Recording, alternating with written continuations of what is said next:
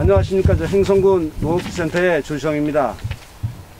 네, 오늘 그 강원도 행성군 어, 감자 종자 자르기와 그 후 관리를 위해서 촬영하게 되었습니다. 감자가 보급될 때는 50에서 270g짜리까지 보급이 됩니다. 한 40g, 50g짜리 감자부터 어, 쪼개 보겠습니다. 이거는 한 이런 사이즈는 한 두 개 정도 낳는 거로 그렇게 여기다 그 다음에는 한 100, 한 20g, 한 120g짜리 요거는 한 4등분 정도 자르도록 하겠습니다. 지금 감자를 자를 때 칼 소독을 많이 하라 그랬는데요. 사실 칼 소독뿐만 아니라 농자, 농 작업을 할 때 장갑이든가 다른 일을 하고 왔을 때 오염되는 걸 만질 수가 있어요. 그래서 칼이든 뭐 앉는 의자든 장갑이든 이것조차도 깨끗하게 해서 새 장갑을 가지고 새로운 장갑 가지고 소독에 임해야겠습니다. 한 200g 정도 될것 같은데요. 이건 한 다섯 개 정도 다섯 부분으로 한번 잘라보겠습니다.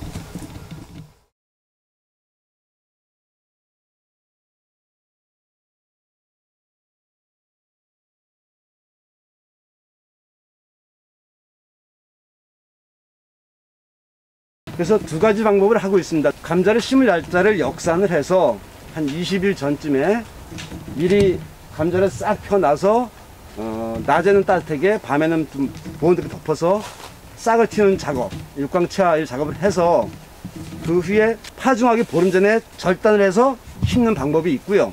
그냥 놔뒀다가 역산을 해서 내가 잘라서 펼쳐놓고 싹을 틔우는 방법. 이 두 가지 방법을 선택하고 있습니다. 어떤 작업에 대한 용이성, 편리성, 이거를 가- 감안하셔서 농가들께서 선택하시면 되겠습니다. 행성군은 어, 100부터 한 600까지 그런 고지에 처해 있는 행성군입니다. 그래서 일부 평해지 쪽, 평해지 쪽, 공군면, 서원면 이쪽들은 지금 3월 20일 전후로 해서 지금 파종을 하고 있습니다.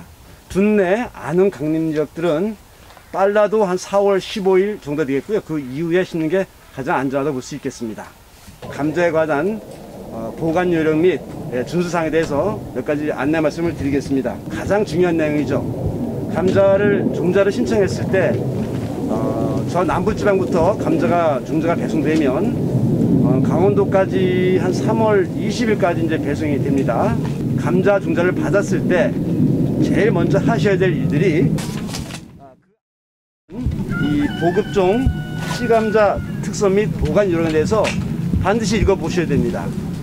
읽고 또 한 가지는 그 안에 있는 감자가 정상인지 아닌지 병이 들었는지 부패가 됐는지 먼저 판단해 보시고 만약 즉시 부패가 됐다라면 그 공급업체인 뭐 종자원이든 사설 개인 업체든 연락하셔서 담당자와 통화해서 교환을 하는 그런 작업을 먼저 하셔야 됩니다. 감자를 받았을 때 감자 안은 이 생물이기 때문에 호흡을 합니다. 그래서 오픈 이거 개봉을 하지 않고 그냥 적체해서 며칠간 보관을 하면 안에가 다 썩습니다. 그래서 흑색 신부병이든 다른 부패 병 과가 생기게 되는데 반드시 농업인들께서는 1년 농사의 첫걸음인 이 종자를 받았을 때 가급적이면 그 10박스를 받았다라고 했을 때는 최소한 3박스는 뜯어보셔서 감자의 병든 상태를 확인하셔야 되고요. 그 다음에 반드시 다 개봉해서 적재해 놓- 놓으시든가 아니면 터가 있으면 하우스 터가 있으면 쭉 널어 놓으셔가지고 밤에 온도가 낮을 경우를 대비해서 보온덮개를 덮어놓는 관리를 하셔야 되겠습니다. 가장 중요한 감자 시작입니다. 아, 두 번째는 이제 요새 기상 이유 때문에 점점 따뜻해져가지고 일본 농가들께서 감자를 조기 재배하시려는 분들이 많이 있습니다. 물론 2월 달에 이 강원도도 2월 달에 하우스 재배를 하시는 분들이 계시는데요. 감자를 빨리 재배하고자 하시는 분들께서는 춘기가 아니라 가을에 감자를 보급합니다. 그 축이라 그랬는데 그러신 분들은 가을에 감자를 신청하셔서 잘 보관하시다가 이른 봄에 신청하시면 되겠습니다. 어, 올한 해도 풍년 어, 감자 농사가 되시길 바라면서 이상으로 촬영을 마치도록 하겠습니다. 감사합니다.